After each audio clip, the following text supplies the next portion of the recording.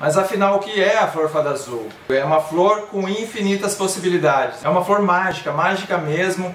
Aqui vai ter algumas perguntas aqui que eu vou mostrar a mágica dela para vocês. É uma flor que tem origem na Ásia, na Índia, Indonésia, China, Tailândia, muito tradicional já usada há muito tempo, está chegando ao Brasil e ao mundo cada vez mais conhecida para ser usada em receitas. O pessoal usa em bebidas, gin, doces, salgados, por causa da dificuldade de achar um azul natural então a flor está cada vez mais se difundindo e sendo usada por chefs, por gourmet e mesmo em casa. O nome científico dela é Clitoria ternate. A planta tem vários nomes populares: fada azul, rainha azul, cunhã, ervilha borboleta, borboleta azul, butterfly pea. Para os nomes ainda em outros países aí de outras línguas, ela é rica em benefícios. Essa parte dos benefícios a gente está cada vez mais se preparando para trazer também para vocês. E é isso. Essa é a flor fada azul.